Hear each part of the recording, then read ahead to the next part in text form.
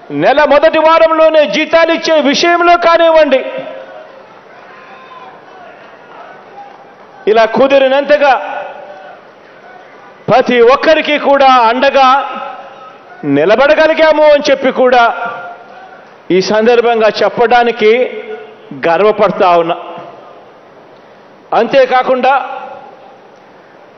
ప్రభుత్వ ఉద్యోగుల మీద ప్రభుత్వ ఉద్యోగాల మీద ఈ రెండింటి మీద మమకారం ప్రేమ ఉన్న ప్రభుత్వం కాబట్టే ప్రభుత్వ ఉద్యోగుల వ్యవస్థల్ని విస్తరించడం కూడా జరిగింది. మీ అందరితో కూడా నేను ఒక చిన్న ప్రశ్న అడుగుతాను. పని ఒత్తిడికి సంబంధించి పనులు అయ్యే విషయాలకు సంబంధించి ఒక చిన్న ప్రశ్న అడుగుతా. మీరే చూడండి. గతంలో ప్రతి గ్రామంలో ఎంతమంది ప్రభుత్వ ఉద్యోగులు ఉండేవారు? ఎన్ని ప్రభుత్వ కార్యాలయాలు గతంలో ఉండేవి? మరి ఇప్పుడు ఎంతమంది ప్రతి గ్రామంలో ఎంతమంది ప్రభుత్వ ఉద్యోగులు ఉన్నారు? ఎన్ని కార్యాలయాలు ఈరోజు గ్రామ స్థాయిలో ఉన్నాయి? ఆలోచన చేయమని అడుగుతా ఉన్నా.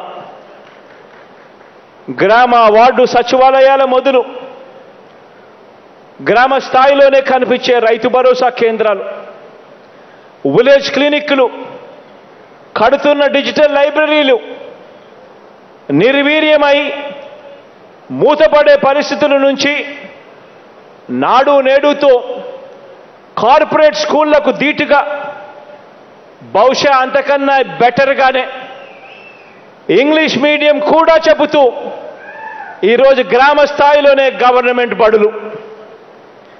ఈ వ్యవస్థలన్నీ కూడా ప్రభుత్వ ఉద్యోగుల వ్యవస్థలే. ఇవన్నీ కూడా విస్తరించినది కూడా గత ఈ నాలుగు సంవత్సరాల కాలంలోనే. ఇవన్నీ బాగుంటేనే ప్రజలు బాగుంటారు. ఇవన్నీ బాగుంటేనే ఉద్యోగస్తులు కూడా బాగుంటారు. ఇవేవి బాగలేవనుకోండి. ఆ తర్వాత ప్రజలు గవర్నమెంట్ బడికి రారు. టీచర్లు నిర్వీర్యమైపోతారు. ఆ తర్వాత ఎవరు రావడం లేదని చంద్రబాబు నాయుడు లాంటి పాలకుడు ఎవడైనా ఉంటే తీసేస్తాడు. గవర్నమెంట్ హాస్పిటళ్ళు నిర్వీర్యమైపోతాయి.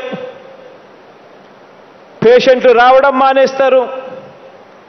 పేషెంట్లు రావడం లేదు కదా ఇక గవర్నమెంట్లో నర్సులు ఎందుకు డాక్టర్లు ఎందుకు అని ఆ బీపీకేస్తారు